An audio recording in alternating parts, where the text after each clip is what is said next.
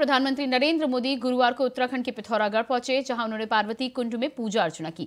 इस दौरान पीएम मोदी डमरू और घंटा बजाते भी नज़र आए। इसके बाद पीएम मोदी गुंजी गाँव पहुँचे, जहाँ उन्होंने सेना, आईटीबीपी और बीआरओ के जवानों के साथ ही साथ स्थानीय लोगों से भी बातचीत की। आपको बता दें कि पीएम मोदी गुरुवार सुबह पिथौरागढ़ के जोलिंग कोंग पहुँचे, जहाँ उन्होंने आदि कैलाश की पूजा अर्चना की। इस दौरान पीएम मोदी के साथ उत्तराखंड के सीएम पुष्कर सिंह धामी भी मौजूद रहे। आपको दो तस्वीरें दिखा रहे हैं। पहली तस्वीर पार्वती कुंड में पूजा अर्चना की है और दूसरी तस्वीर जो आप अपनी टीवी स्क्रीन पर देख पा रहे हैं, जहाँ प्रधानमंत्री नरेंद्र मोदी आईटीबीपी के जवानों से मुलाकात की है, साथ ही नगाड़ा बजाते भी नज़र आए।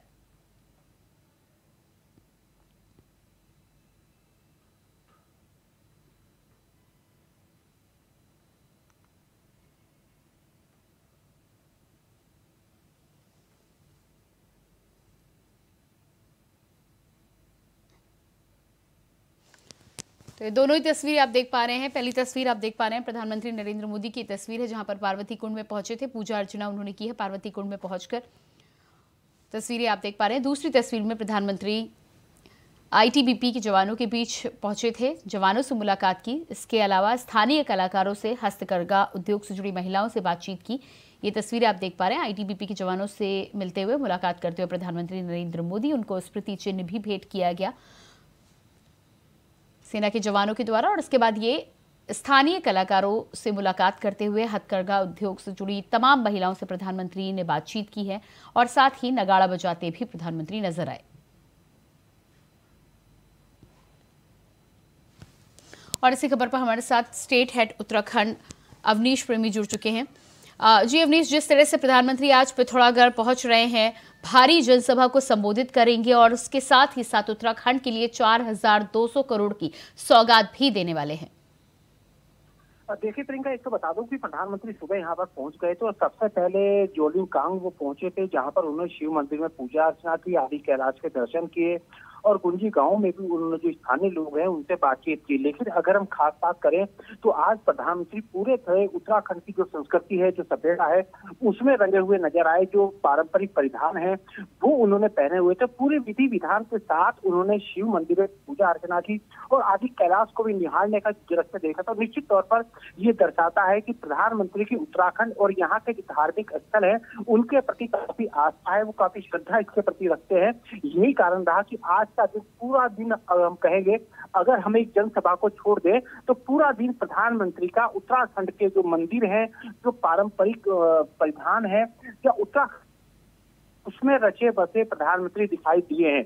दूसरा मैं आपको ये भी बता दूँ कि वो अल्मोड़ा के जागेश्वर धाम में भी गए थे, जहाँ पर उन्हें पूजा अर्चना की है, काफ़ी देर वहाँ रुके। और खास बात यह है कि जो गुंजी गाँव है, जो उसकी सीमांत इलाका है, उत्तराखंड का वहाँ पर उन्होंने आईटीबीपी के जवानों, जो बीआरओ के लोग हैं, उनसे भी बातचीत की और काफ़ी समय उनके साथ बिताया, उनके साथ बातचीत की। और हम क्या बेहतर देश के लिए कर सकते हैं, देश की सुरक्षा के लिए कर सकते हैं, उस सबको लेकर भी प्रधानमंत्री ने काफ़ी समय जवानों के बीच यहाँ पर बिताया है।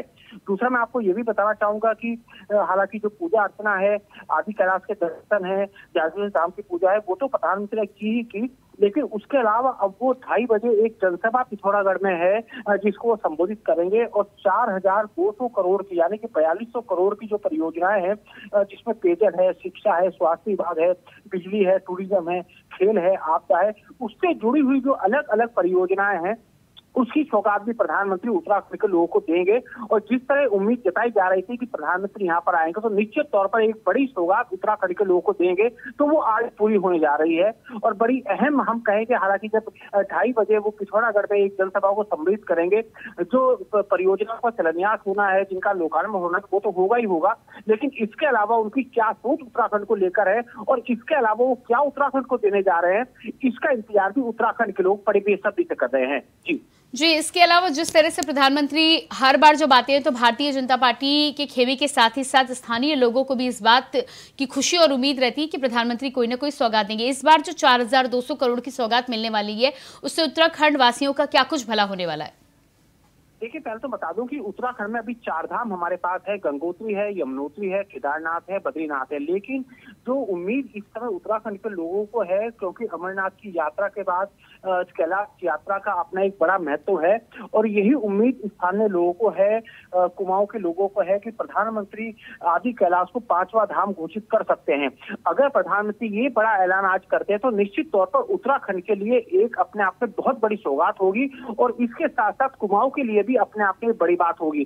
क्योंकि ऐसा होने से एक तरफ़ जहाँ हमारे यहाँ टूरिज़्म सेक्टर को बढ़ावा मिलेगा, इसके साथ साथ जो स्थानीय लोग हैं, उनको भी रोज़गार मिलेगा और कुमाऊं का एक अलग पहचान होगी। क्योंकि मैं आपको बता दूँ कि हमारे यहाँ जो चार धाम है उत्तराखंड में, वो कहीं ना कहीं अभी एक तरह से कहा जाए गढ़वाल में है और कुमाऊं में जो पांचवा धाम घोषित होता है तो निश्चित तौर पर एक अलग प्रदेश का महत्व होगा और जो एक तरह से कहा जाए टूरिज़्म हो बेरोजगारी हो, ये सारी चीज़ें भी यहाँ पर दूर होती हुई दिखाई देंगी। तो उम्मीद फ़िलहाल लोगों को ये है।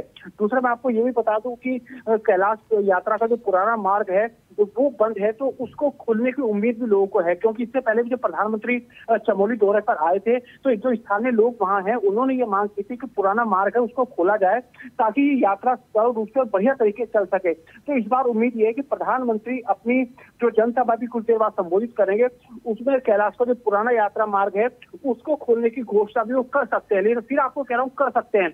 अगर ये घोषणा यहाँ पर प्रधानमंत्री ने की तो निश्चित तौर पर उत्तराखंड के लिए बड़ी बात होगी। जी। इसके अलावा जिस तरह से स्पिरिचुअल टूरिज़्म की बात प्रधानमंत्री के साथ ही साथ मुख्यमंत्री पुष्कर सिंह धामी की सरकार भी बार बार करती है और उसको बढ़ावा देने के लिए उत्तराखंड में लगातार बीजेपी की सरकार, पुष्कर सिंह धामी की सरकार काम करती हुई नज़र आ रही है। जिस तरह से आप अंदाज़ा लगा रहे हैं कि यदि कुमाऊं क्षेत्र में पाँचवें धाम प्रधानमंत्री के द्वारा घोषित होता है तो उससे उत्तराखंड की जनता, साथ ही साथ वहाँ के इंफ्रास्ट्रक्चर को क्या कुछ लाभ मिलेगा और क्या कुछ आने वाले समय में बदल सकता है इससे? जी, बिल्कुल प्रियता आपने अच्छा सवाल किया। अगर हमें चारधाम की करें तो चारधाम की यात्रा जब शुरू होती है तो निश्चित तौर पर जो उत्तराखंड के स्थानीय लोग हैं, जो गढ़वाल के स्थानीय लोग हैं, उनको एक तरह से बड़ा बिज़नेस मिलता है और स्टेट गवर्नमेंट को भी कहीं ना कहीं रेवेन्यू हासिल होता है, जो कि अपने आप में एक बड़ी बात है। अगर हम उत्तराखंड के दूसरे, यानी कि कुमाऊं मंडल की बात करें, वहाँ पर अगर ये आदि कैलाश की एक तरह से कहा जाए, इसको पांचवा धाम घोषित किया जाता है तो निश्चित तौर पर वहाँ भी काफ़ी संख्या में यात्री आएँगे और उसका जो लाभ है, वो उत्तराखंड के लोगों को भी मिलेगा। वहाँ जो बेरोजगारी है वो दूर होगी, रोज़गार मिलेगा और कहीं ना कहीं जो हमारा टूरिज़्म सेक्टर है, वो भी मज़बूत होगा। तो यही उम्मीद लगाई जा सकती है। हालाँकि प्रधानमंत्री जो करोड़ों की योजनाओं की जो सौगात देंगे, उनका लोकार्पण करेंगे, शिलान्यास करेंगे, लेकिन जो बड़ी बात है, अगर वो आज भी ऐलान कर सकते हैं, आदि कैलाश को पांचवा धाम घोषित करने की तो निश्चित तौर से ये एक ऐतिहासिक कदम होगा प्रधानमंत्री का। जी। जी, इसके अलावा तो लगातार हम यहाँ पर बातचीत कर रहे थे, हमारे साथ स्टेट हेड जुड़े हुए हैं। और इसके अब अवनीश हमारे साथ बने रहिएगा। हमारे साथ राजेश्वर भी अल्मोड़ा से जुड़ चुके हैं। तो आपको तस्वीरें हम दिखा रहे हैं, खास तस्वीरें दिखा रहे हैं। प्रधानमंत्री नरेंद्र मोदी इस समय अल्मोड़ा पहुँच चुके हैं। वो तस्वीरें हमारे पास सामने आ रही हैं। वो तस्वीरें आपको दिखाएँगे। अब से कुछ ही देर के बाद पिथौरागढ़ में एक भारी जनसभा को प्रधानमंत्री संबोधित करेंगे और ये तस्वीरें अल्मोड़ा की हैं। जहाँ पर प्रधानमंत्री पहुँचे हैं, पूजन अर्चन कर रहे हैं। अल्मोड़ा की तस्वीरें आप अपने टेलीविज़न स्क्रीन पर देख पा रहे हैं। प्रधानमंत्री नरेंद्र मोदी अल्मोड़ा पहुँच चुके हैं। इससे पहले आज सबसे पहले उत्तराखंड में पार्वती कुंड में प्रधानमंत्री नरेंद्र मोदी ने पूजन अर्चन किया था। उसके बाद जोलिंग कोंग पहुँचे थे आईटीबीपी के जवानों के साथ उन्होंने समय व्यतीत किया। स्थानीय लोगों से उन्होंने मुलाकात की। स्थानीय कारीगरों से, हथकरघा उद्योग से जुड़ी महिलाओं से उन्होंने बातचीत की और ये तस्वीरें आप जो प्रधानमंत्री की देख पा रहे हैं अपने टेलीविज़न स्क्रीन पर, ये अल्मोड़ा की तस्वीरें हैं। अल्मोड़ा में इस समय प्रधानमंत्री पहुँचे हैं, पूजन, अर्चन कर रहे हैं। ये सीधी तस्वीरें आपके टीवी स्क्रीन पर अल्मोड़ा से आप देख पा रहे हैं। तो लगातार हमारे साथ स्टेट हेड भी बने हुए हैं, अवनीश जी बने हुए हैं। जी, अवनीश जी, अल्मोड़ा प्रधानमंत्री पहुँच चुके हैं, पूजन अर्चन कर रहे हैं, तस्वीरें हम अपने दर्शकों को दिखा रहे हैं। देखिए बिल्कुल अल्मोड़ा में जो जागेश्वर धाम है, अपना एक पौराणिक महत्व उसका है और वहाँ प्रधानमंत्री ने पूजा अर्चना की और अभी कर ही रहे हैं, जैसे कि आप देख रहे हैं। लेकिन मैं आपको फिर लगातार बता रहा हूँ कि उत्तराखंड के जो अलग अलग परिधान है, जो हमारे वस्त्र यहाँ पर पहने जाते हैं उसका भी एक अलग इतिहास है। लेकिन प्रधानमंत्री आज उससे अलग यहाँ पर एक तरह से कहा जाए नज़र आ रहे हैं कि जैसे हम बात करें कि जैसे वो गुंजी गाँव गए थे तो गुंजी गाँव के अंदर उन्होंने जो आदि कैलाश में गए थे, वहाँ उन्होंने वहाँ के परिधान पहने हुए थे। लेकिन अगर हम बात करें अल्मोड़ा की तो वो परिधान बदले हुए हैं। यानी कि प्रधानमंत्री जिस जिस जगह जा रहे हैं, जिस इलाके में जा रहे हैं, वहाँ के महत्व को देखते हुए, वहाँ की परंपरा को देखते हुए, उसी हिसाब से उनके वस्त्रों का चयन भी यहाँ पर किया गया है। अहम बात है। दूसरी बात है, अभी जो तस्वीरें आप अपने टीवी स्क्रीन पर देख रही है, ये अल्मोड़ा की है और जागेश्वर धाम जो कि शिव का अवतार कहा जाता है। वहाँ पर प्रधानमंत्री अभी पूजा अर्चना कर रहे हैं। उसके बाद वो सीधे निकलेंगे पिथौरागढ़ के लिए, जहाँ वो जनसभा को संबोधित करेंगे। दूसरा मैं बता दूँ कि जहाँ पर प्रधानमंत्री जनसभा को संबोधित करने जा रहे हैं, वहाँ साठ हज़ार से ज़्यादा लोगों के बैठने की व्यवस्था वहाँ पर की गई है। काफ़ी सुरक्षा की गई है और क्योंकि पिथौरागढ़ सीमांत जिला है तो वहाँ पर और ज़्यादा कड़े सुरक्षा प्रबंध इतना ज़रूरी कि प्रधानमंत्री की जो ये यात्रा है, जो है, लोगों से संवाद है, जो स्थानीय लोग हैं, उनसे बातचीत है आईटीबीपी के लोगों से साथ बिहारों के जो जवान है, उनके साथ उनकी बातचीत है। कहीं ना कहीं ये दर्शाती है कि प्रधानमंत्री नरेंद्र भाई मोदी का उत्तराखंड के लोगों के साथ, यहाँ के मठ मंदिरों के साथ उनका एक विशेष लगाव है। दूसरा मैं बता दूँ कि जो सरकार ने परियोजनाएँ शुरू की हैं, और जो डेवलपमेंट का काम उत्तराखंड में अलग अलग धामों के लिए किया जा रहा है उसका भी एक प्रेजेंटेशन प्रधानमंत्री को दिखाया जा रहा है। अभी आप देख सकते हैं, जो चीफ सेक्रेटरी हैं डॉक्टर एस एस संधू और जो आला अधिकारी हैं, वो इस प्रेजेंटेशन को प्रधानमंत्री के सामने रख रहे हैं। बाकायदा उसकी तस्वीरें दिखाई जा रही है कि किस तरह का काम इस समय उत्तराखंड में हो रहा है, क्योंकि पहाड़ी प्रदेश है और इसकी सीमांत जो ज़िले हैं जो सीमांत इलाके हैं, वहाँ से लगती हुई सीमा है तो कड़े प्रबंध वहाँ पर है और एक बेहतर प्रदेश बनाने की दिशा में उत्तराखंड बढ़ रहा है। जी जी बिल्कुल। तो जिस तरह से यहाँ पर तस्वीरें हम देख पा रहे हैं, प्रधानमंत्री कि यदि धार्मिक लगाव की बात करें और उसके साथ ही साथ स्पिरिचुअल टूरिज़्म की बात जो प्रधानमंत्री लगातार करते हुए नज़र आते हैं। एक तरफ़ तो कैलाश धाम को विकसित करने के लिए जो तमाम निर्माण कार्य अभी भी वहाँ पर जारी हैं, इसके अलावा कुमाऊं क्षेत्र की जो आपने यहाँ पर बात की है, क्या लगता है आपको कि मुख्यमंत्री पुष्कर सिंह धामी जिस तरह से इन्वेस्टर मीट से लेकर इन तमाम चीज़ों को विकसित करने में लगे हुए हैं, ये जो कदम है, जो अग्रणी राज्य की श्रेणी में उत्तराखंड को खड़ा करने का कदम है, उनका लक्ष्य है, वो इस तरह के कामों से जल्द ही पूरा हो पाएगा। और स्पिरिचुअल टूरिज़्म के बारे में यदि हम बात करें तो कितनी संभावनाएँ आप आने वाले भविष्य में, निकट भविष्य में देख सकते हैं? देखिए, अभी जो तैयारी है उत्तराखंड को इन्वेस्टर समिट हमारा दिसंबर में होना है उसके लिए अभी बहुत बड़े बड़े करार हुए हैं। तो निश्चित तौर पर डबल इंजन की सरकार है, मुख्यमंत्री पुष्कर सिंह धामी लगातार ही कोशिश कर रहे हैं कि उत्तराखंड एक बेहतर प्रदेश बने और जो विकास की संभावनाएँ हैं वो और बेहतर हो। चाहे रोज़गार की बात करें टूरिज़्म की बात करें, हमारे पास जो अपने सेक्टर है, चाहे वो पावर सेक्टर की बात करो, उसको हम कितना बेहतर बना सकते हैं और खास बात ये भी कि अगर हम मैदानी इलाकों की बात करें तो वहाँ को विकास हुआ है, लेकिन जो पहाड़ी इलाके हैं, दूरस्थ इलाके हैं, चमोली हुआ, अल्मोड़ा हुआ, पिथौरागढ़ हुआ, वहाँ पर अभी भी कहीं ना कहीं विकास नहीं हो पाया। जो सुविधाएँ मिलनी चाहिए थी वो नहीं मिल पाई। आज भी लोग परेशान है, चाहे वो रोज़गार की बात की जाए, शिक्षा की बात की जाए, या स्वास्थ्य सेवाओं की बातचीत की जाए। लेकिन डबल इंजन की सरकार इस कोशिश में है कि बेहतर तरीके से इन चीज़ों को किया जाए। मुख्यमंत्री लगातार केंद्र के संपर्क में है और बड़ी बड़ी जो योजना है परियोजना है, वो यहाँ पर ला रहे हैं।